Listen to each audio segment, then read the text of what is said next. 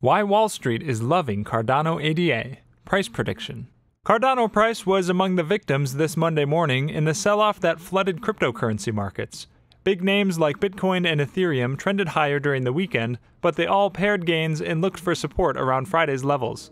Hi, Cardano lovers! Welcome to Cardano Land, your daily dose of Cardano. If you're interested in everything around Cardano, this is the place for you. Make sure to hit the like button and subscribe for us to provide you with more Cardano news. And let us know in the comments how much you think Cardano will cost next week. As of today, the 6th of July 2021, Cardano's current price is $1.4300, as we are seeing a little rise in the crypto market right now. But as we always mention, there are certain things you need to be aware of. Firstly, the cryptocurrency market is highly volatile, and the rates keep on changing. Therefore, by the time you watch this video, the coin prices would have switched to a whole different range. Secondly, the content of this video in no manner should be taken as financial or investment advice. This video is created purely to serve educational and informative purposes. You are requested to pursue your own diligence or consult an expert in this regard to make better investment decisions. Cardano price may look heavy, but nothing has changed the risk on mood. Investors must have had a perfect weekend watching their cryptocurrency portfolio increase in value. The feeling on Monday morning, however, must have undercut their euphoric feeling from Sunday evening. This weekend, it looked like cryptocurrencies were out of the woods after a few weeks of heavy selling and the long road to what looked like recovery. But no need to panic just yet. A closer look at Cardano price action shows that it is respecting a fan technical play. The 1 1 trend line was very well supported on July 1st, with buyers pushing ADA price toward $1.50. We get confirmation that this fan is being well respected as we see hours and days before the half fan line and the third fan line reflected in the wicks of the candles. Even the 1 8th fan is confirming the trend, which is a technical indicator to be aware of. Looking forward, this means that some further downside is possible for now, but the 1 1 fan line should be respected around $1.33.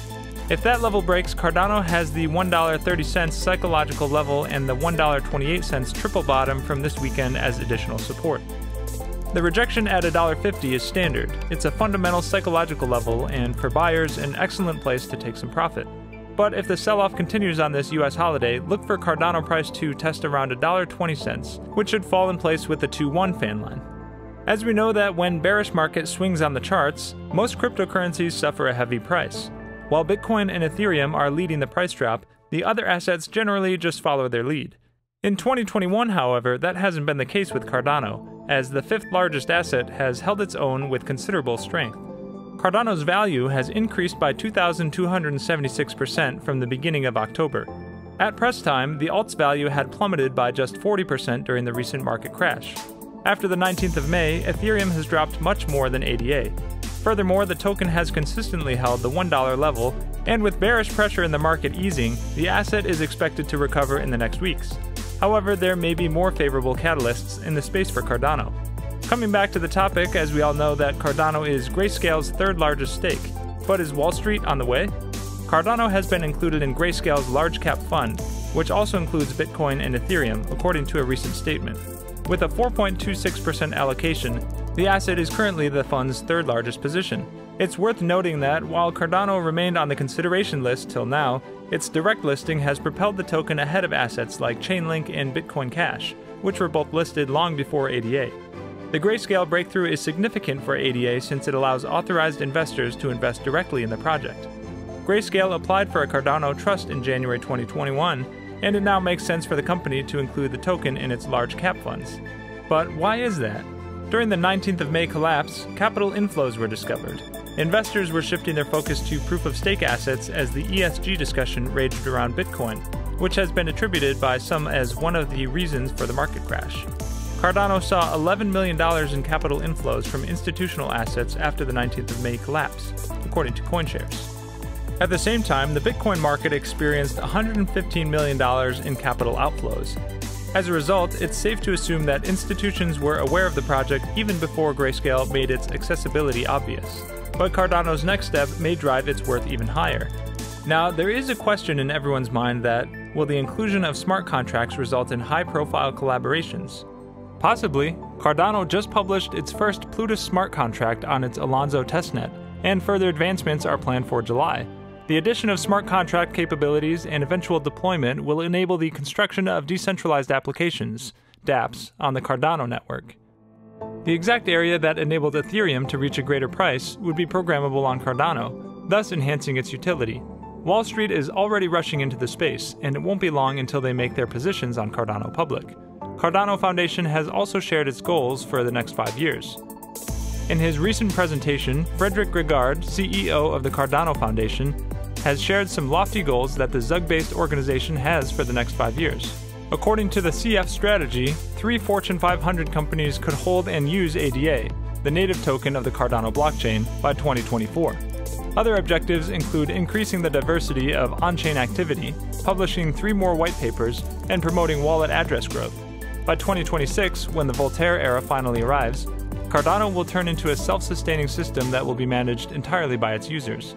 The proof of stake blockchain plans to develop a suite of services for a nation and onboard 1 billion users. Furthermore, it expects 10 Fortune 500 companies to hold ADA by 2026. When it comes to more short term goals, the Cardano Foundation plans to increase interoperability and onboard 50 banks by 2022. While Cardano is known for its ambitious goals, critics often mock the project for not fully delivering on them. Last week, plenty of Twitter users started trolling IOHK CEO Charles Hoskinson by retweeting his rather poorly aged prediction about the blockchain's progress from July 2020. Presently, Tesla and Square are the only Fortune 500 companies that have Bitcoin on their balance sheets. None of them hold any altcoins, according to their latest regulatory filings. As reported by U.Today, the Cardano Foundation claimed that the blockchain was a perfect match for Tesla because of its environmentally friendly proof of stake consensus mechanism. Dogecoin touting Tesla CEO Elon Musk never mentioned Cardano directly, but he claimed that he wasn't interested in other cryptocurrency projects because they don't have memes. We are aware that in today's digital era, users from across the globe are fast adopting blockchain technologies. As decentralized technologies mature and their adoption grows, so does the kind of crypto services offered evolve.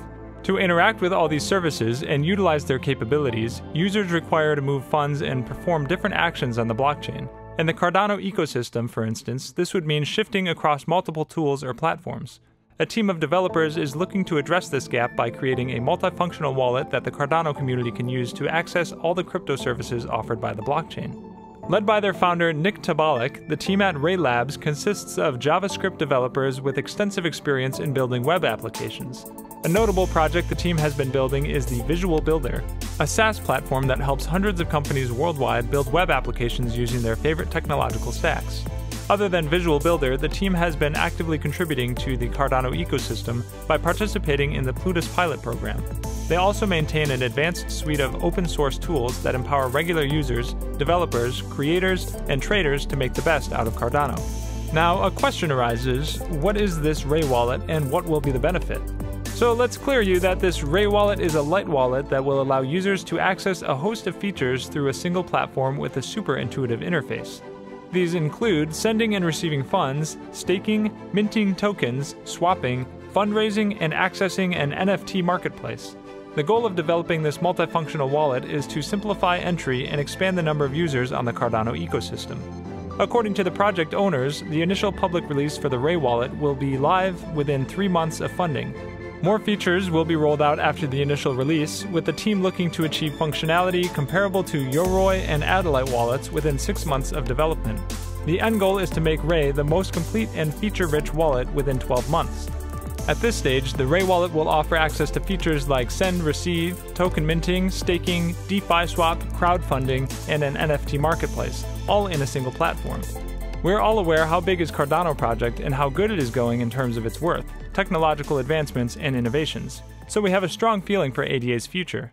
Well, that's it for today's video, guys, and make sure to subscribe and give us a thumbs up. See you next time on Cardano Land.